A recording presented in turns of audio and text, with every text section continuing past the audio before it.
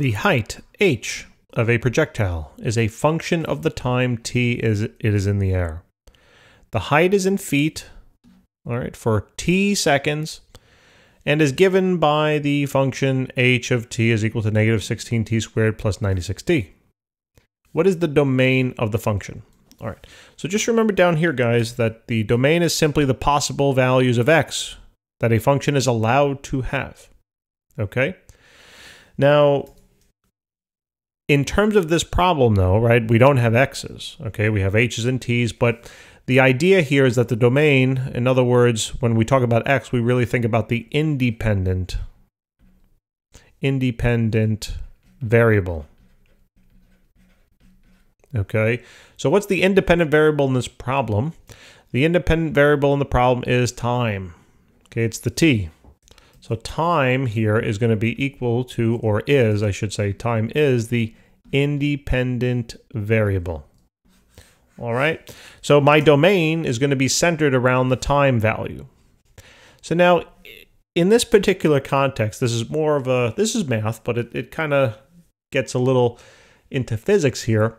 Um, the reason being is because mathematically, when you look at this function, right, when you look at h of t, and I'll write it down, h of t is equal to negative 16 t squared plus 96t. When you look at this function and you think mathematically, you're thinking, well, are there any limitations on t? Can I plug in any value for t I like? And sure, I can, right? It could be t could be negative 5 million, it could be positive 5 million, blah, blah, blah.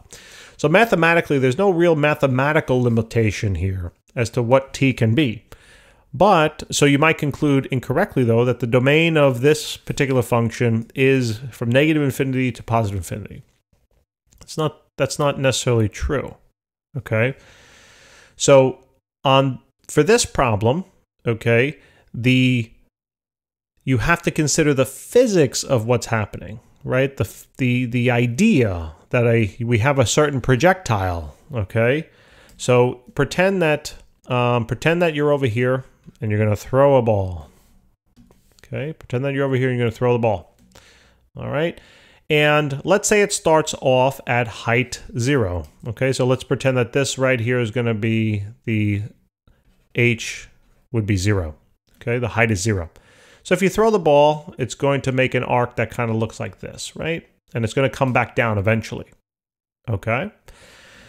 So we do know, though, right, that if this is the case, we know that we have to start at zero, right? The height, the initial height is at zero, and the final height is also at zero. Okay?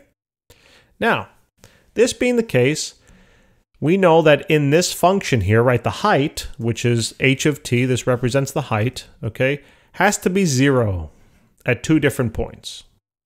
All right. Now, if I plug in the value of zero, right, what happens now to the math here?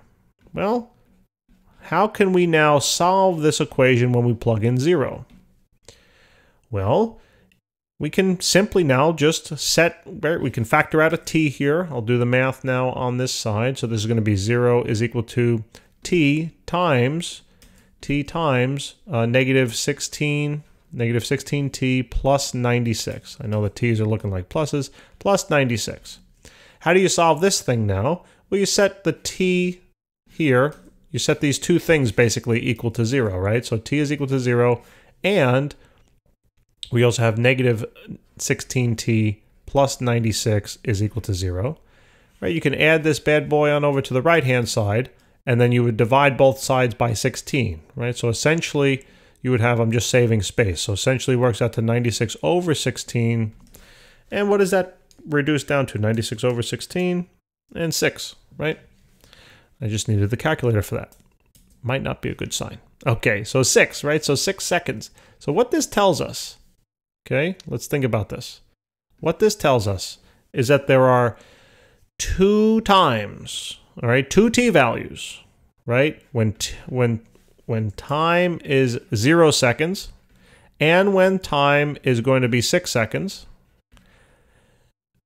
that the height is equal to zero. But that's also what we thought, right? The physics tells us it should be that way, right? If it starts off at the zero point, it's eventually going to reach some height and then come back down. It's going to reach that same height, zero, sometime later. How long? How long later from the initial point will it reach the final height of zero or coming back down to Earth? Well, six seconds. Okay. So what we actually did here was we found the domain. Okay. So like I said, that's the difference between math and physics. All right. I mean, math is part of physics. You need math to figure out uh, physics. I think physics is very interesting. All right. Um, you can do a lot with it. So uh, in pure math speak, right? If we if we don't if we just look at this thing and we don't know any information from the problem, we would conclude that the domain is from negative infinity to positive infinity. But given now this information, given this physics information, we now know that there are certain constraints as to what the time can actually take. All right. So the true domain of this problem is going to be from inclusive, that is, anywhere from zero seconds all the way to six seconds. Because after six seconds, the thing has come back down to Earth. All right? So hopefully this helped, guys. I know it's a challenging uh, problem, but uh, I think hopefully it makes sense. All right? So I look forward to helping you with more problems. Take care.